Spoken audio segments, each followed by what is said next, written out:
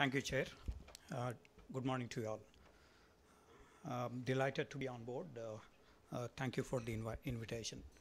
Uh, let me also congratulate the ICRIER for uh, organizing this conference uh, as part of the East Asia program um, in its inaugural. for several reasons. Um, number one, um, China had organized uh, the 70th anniversary of the anti-Japanese war, uh, the VJ Day, as they call, um, in on September 3rd this year, and uh, the Beijing parade was uh, a spectacular event. Although there were no major political statements regarding Japan, but the script uh, appeared to be uh, included um, in terms of the Japanese factor in the last 70 years.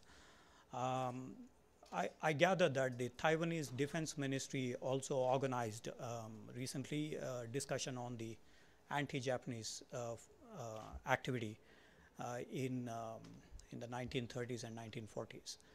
Uh, the uh, the role of the of the of Japan in the 1930s and 40s has been a uh, huge debate in the East Asian situation. We have also seen the emperor making a statement on the 14th August uh, followed by uh, the Prime Minister Shinzo Abe's uh, statement regarding the um, routine statements issued over a long period of time, but this was slightly different in terms of the the that this generation need not necessarily uh, be considered about the 1940s events and so on and so forth.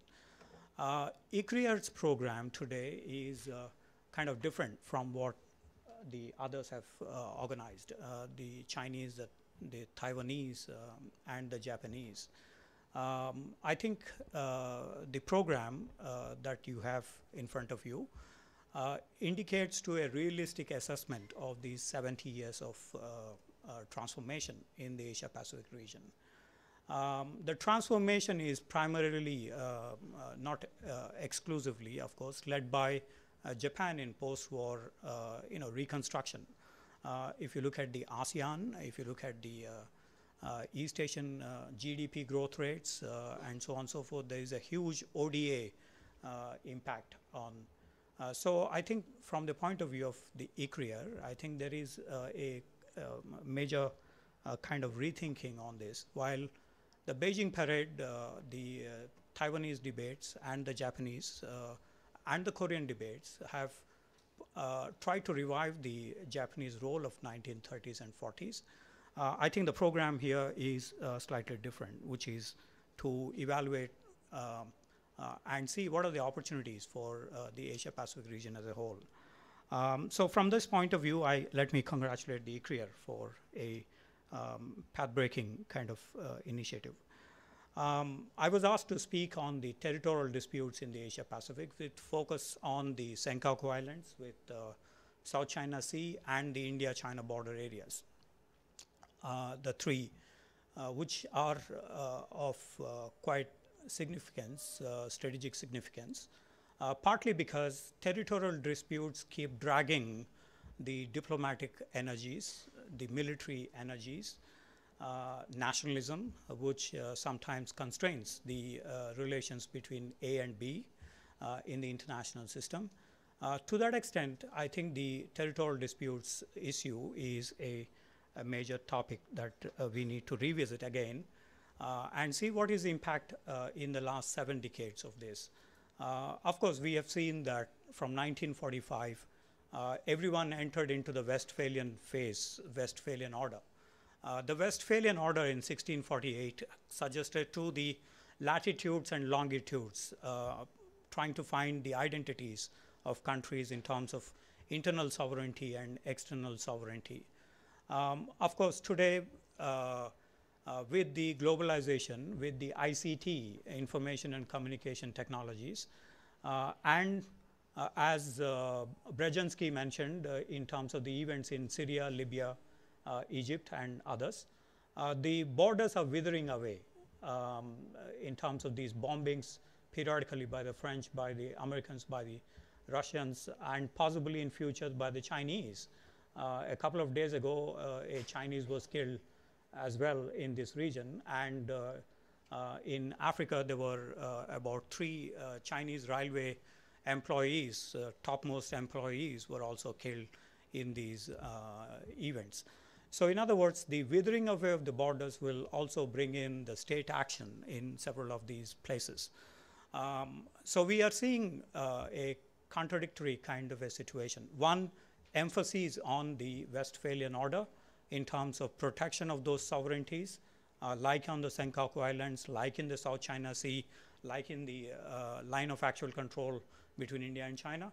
On the other hand, we have also been seeing witnessing the uh, spread of globalization, the spread of uh, terrorism, which have in a way removed those borders and with the non-traditional security issues of migration of various others, we have seen those borders withering away. So these two contradictory themes uh, uh, have come about in the last seven decades of the Asia Pacific uh, region and with the rest of the world, but we are focusing on this region. Um,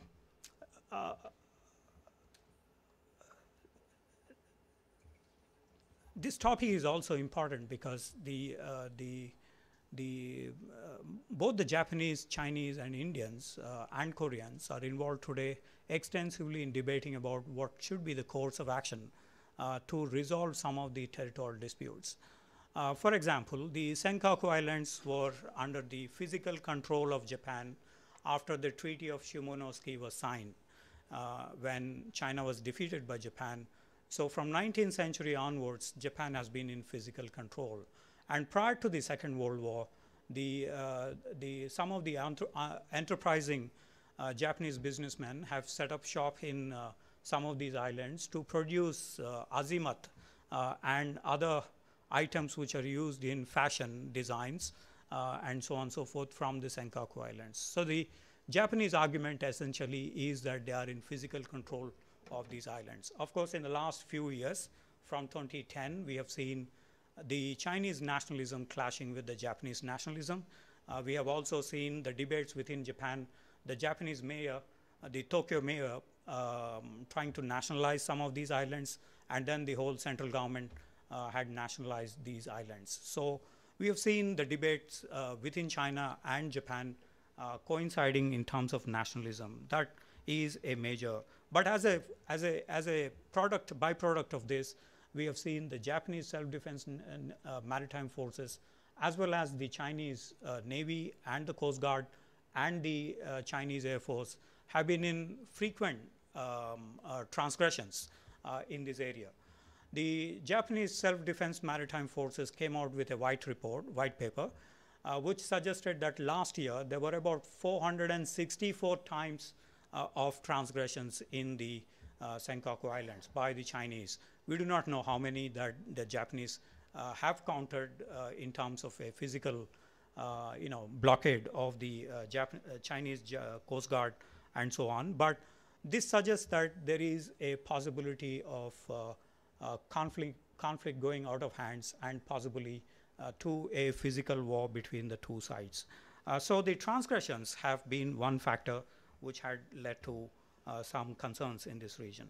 But remember in 1970s, Deng Xiaoping uh, told the Japanese prime minister, let us postpone this dispute. Uh, he suggested let us uh, mutually exploit the resources. Uh, in fact, the Japanese and the Chinese have also discussed about how to exploit the energy resources uh, and have identified specific zones where they can exploit the energy resources in Chunxiao Islands and in the in the exclusive economic zones that each of, the, each of these countries claim. In fact, there are a series of discussions uh, formally between Japan and China in order to exploit this. Although there are some concerns as well that the uh, Chinese have been drilling in those areas where the Japanese have claimed as part of their EEZs. Uh, so uh, it is uh, also, uh, the territorial disputes also have implications for the energy related resources, in addition to nationalism, in addition to the Westphalian world order. Um, the other factor that has brought in uh, is the US role uh, in all the territorial disputes as well as in the Senkaku Islands as well. Uh, for instance, President Obama gave in writing to the Yomiuri Shimbun uh, that the Senkaku Islands indeed are part of the alliance between US and Japan. Uh, which suggests that there is uh, a, uh, a larger role that possibly uh, that this, this dispute can reflect to, this dispute can spill over. Um, we, we saw during the end of the Korean War in the 1950s, um, General MacArthur suggested we will not, we will never involve in any territorial disputes uh, in the Asian region, Asia Pacific region, in 1950-51 when the Korean War ended in a stalemate. Um, but we do see that the U.S. has now become a factor with these alliances uh, uh, also spilling over into the territorial disputes. Um, so there is the U.S. factor which is becoming quite obvious in the uh, territorial disputes. The second, South China Sea, has, been, has also been alluded to by uh, Ambassador H.K. Singh. Um, South China Sea is the current hot topic. Uh, uh, for instance, uh, a couple of days ago, the United States had flown the B-52 bombers in this region uh, and is now planning to have two more missions in, in addition to the USS Lassen uh, about a couple of weeks ago. Uh, in addition to this, the freedom of navigation operations United States is, is trying to conduct in the region. The Senkaku, the South China Sea islands again are also part of what the Chinese say as a historical kind of uh, uh, um, uh, legacy and historical kind of backup in terms of the sovereignty claims, which is generally not recognized under the international law. Uh, international law suggests to the physical and continuous occupation rather than uh, being, these being discovered in Ming Dynasty or in other periods. Uh, so historical claims generally have very less credence in any sovereignty dispute. Uh, nevertheless, uh, China had uh, sent a draft to the U United Nations Secretary General last May, suggesting that the nine dashed line is what Chinese believe as the sovereign area for the South China Sea. In other words, China had put up a draft to the United Nations, but not to the General Assembly, not to the International Court of Justice, not to the uh, Arbitration Tribunal, but to the Secretary General uh, to suggest that these nine dashed line which includes about 80% of uh, the South China Sea areas as part of the Chinese claimed region. Now, uh, unlike in the Senkaku Islands, we have seen substantial military preparation in the South China Sea. 1974, 1988 in the Paracels and the Mischief Reef in 88. Uh, subsequently, we have seen also recently that uh, the Chinese have reclaimed land in the South China Sea with about six reefs converted into islands with dredging projects and so on and so forth.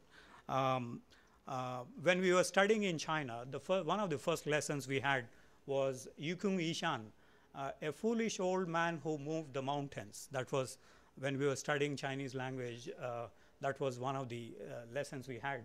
Uh, Yukung Yishan in, incidentally means how to dominate, how to dominate the nature, how to uh, exert oneself in terms of uh, removing the mountains for one's own comfort, comfort levels.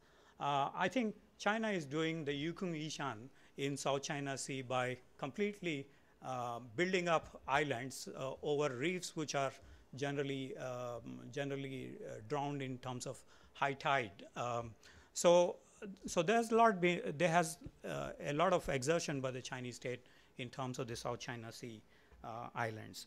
Now, um, one of the ways of resolving the South China Sea is, uh, uh, has been the, uh, the UNCLOS uh, provisions, the United Nations Law of the Sea Convention, uh, which suggests to mainly two aspects uh, in terms of sovereignty.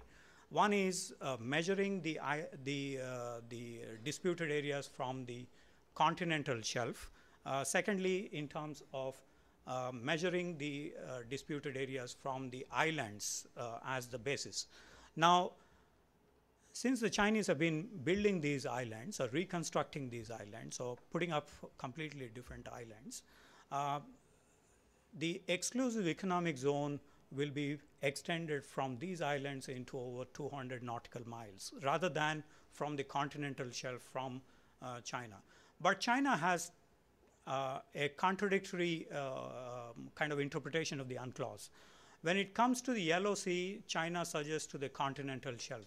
But when it comes to the South China Sea, China suggests to measuring from the island or from the reefs, which China claims, which provides it more than a, a 1,000 to 1,200 nautical mile from the Chinese coast. So in other words, this has now become very controversial and the Filipinos have gone to the arbitration tribunal uh, and uh, uh, incidentally, over a couple of weeks ago, the Chinese Foreign Ministry, after the tribunal suggested that this issue is now uh, open for uh, um, um, legal arbitration uh, on seven claims on South Asia Pacific region becoming a, a problematic area, especially because over 5.5 trillion dollars worth of goods and services pass through this region. Uh, so it has international commerce uh, and um, uh, series of communications um, coming under the purview of the South China Sea, including India, where 55% of Indian trade passes through the South China Sea. In other words, India then becomes a part of the uh, dispute, uh, not necessarily in terms of the sovereignty dispute, but in terms of how the dispute is resolved in this region. Uh, the third aspect that I was asked to speak is on the India-China border areas. As you all know, this has not been uh, defined. This has not been um, accepted uh, by both the parties, the line of actual control. There have been uh, eight talks, three talks between uh, China and India in 1960 uh, and about eight talks between 81 to 87. And then again, about 15 talks under the joint work group framework. And now in the 18 special representative meetings, these have been discussed. In other words, um, the India-China border dispute has been discussed for nearly 34 years now, uh, and still it is not yet uh, defined. The dispute is not yet defined, nor a solution has been offered to. But what we have seen in the recent times is also some of the spectacular transgressions that have happened on the India-China line of actual control areas. Um, while I mentioned to you before, uh, while there were about 400 odd transgressions on the Senkaku Islands, uh, we have seen that there has been about 340, 350 transgressions on the line of actual control between India and China. Uh, on an average, uh, 300 to 350 and sometimes 400 uh, transgressions happen on the India-China border areas. So in other words, these both these disputes are uh, active uh, uh, on Senkaku as well as the, the India-China border areas. Likewise, as Deng Xiaoping told the Japanese Prime Minister, let us postpone the dispute. Likewise, there is also the, the, the offer by the, to the Indian side when Rajiv Gandhi visited China that let us postpone the dispute and let us look at uh, opportunities in the bilateral field. So both these disputes have some commonalities in terms of the Chinese posture on, um, on, on uh, looking at the other bilateral uh, issues. Um, what are the solutions offered for all these disputes, Senkaku, South China Sea, and uh, India-China border areas? The Chinese offer was uh, mainly political in nature, uh, not necessarily legal in nature. Although China sticks to the Westphalian order, uh, um, once in a while it does suggest, like the Indians, that it is a civilizational state not a Westphalian state, yet it says it abides by the UN Charter, United Nations Charter. Um, what we have seen is um, China had proposed in most of these uh, either a mutual accommodation principle uh, or a mutual understanding principle or a mutual benefit principle um, uh, for resolving the territorial disputes in, in uh, the borders with uh, China, the 14 land neighbors as well as the five maritime neighbors of China. Um, but however, we have not seen much progress in relation to uh, the mutual benefit principle uh, in South China Sea or in the Senkaku Islands. Uh, this has not been proposed for the India-China borders. Uh, what has been proposed for the India-China borders is mutual accommodation and mutual understanding, which basically are political in nature and uh, uh, a deal that has been proposed to the Indian side which has not been acceptable to the Indian side. Uh, how this, these disputes can be resolved? Uh, as the Filipinos took the lead, uh, one is the international arbitration. Uh, however, in the joint statements that China had with the Japanese, with the uh, many of the Southeast Asian countries with which they have dispute in the South China Sea Islands, as well as with India, in the joint statements, for instance, with P.V. Narasimha Rao, the joint statement suggested in 1993 to peaceful resolution of the dispute and through negotiations and through talks, which means that uh, India cannot go to the International Court of Justice or Japan cannot go to the International Court of Justice uh, or uh, any of these cannot resolve the dispute through a, a, a non-peaceful means, uh, meaning uh, through various other means of non-peaceful war or other domination, strategic domination or other means. So in other words, there has been a constraining uh, effect in terms of the solution. Um, uh, so we have now entered into a lot of diplomatic, military, uh, and political uh, kind of discussion on these three disputes vis-a-vis the, the partners. Uh, one of the principles, as I mentioned, was the uh, postponing the dispute for joint development. This has been proposed to the Senkaku Islands. This has been proposed to the South China Sea. Uh, of course, this has not been proposed to the India-China border areas. However, we have not seen any uh, joint development projects uh, between, say, China and Japan or between Southeast Asian countries and China uh, in the South China Sea dispute. Uh, for instance, most of the oil drilling platforms are kind of unilateral rather than joint development for exploitation of the energy resources. So, so we can we can interpret then the then the postponing the dispute or joint development mainly to buy time to possibly also dominate uh, the the region for advantage uh, for any advantageous position. Um, to conclude, I would suggest that the uh, Asia Pacific region had gone through a huge transformation uh, economically uh, and integration aspects as part of the globalization, as the previous two speakers have mentioned. Um, also, there is the territorial disputes have led to uh, huge uh, expenditures uh, on Japan, China, South China, Southeast Asian countries, India, and so on and so forth. We have spent huge energies on this uh, at the diplomatic level, at the uh, military level, um, uh, and so on and so forth. Yet, we have not seen anyone crossing the line except in 1962. Um, because 1962 has been identified in the official Chinese literature as uh, the main reason for entering into a, a border skirmish. Uh, overall, then we can say that uh, that these disputes have not been leading to uh, an explicit conflict. Uh, today, of course, uh, 2015 is not 1962. There has been major developments in terms of various uh, various uh, uh, economic, military, and so on factors. Um, what we can suggest in these 70 years has been, especially in the latest period, the conflict has become more limited in nature. Although everybody is spending a lot of money in terms of the defense budgets and so on.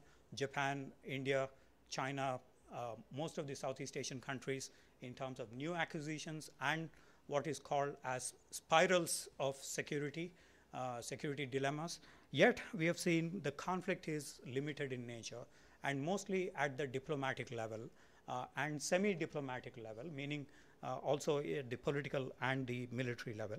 Um, uh, uh, so that is good news uh, overall that the that that the territorial disputes have not been um, uh, come to the fore to to lead to a, a warlike situation. Although we have had some instances in the Senkaku Islands or in Daulat Beg Oldi areas or in South China Sea, yet we have seen uh, most of the parties climbing down uh, in the final analysis. So this is one a major prospect for the Asia Pacific.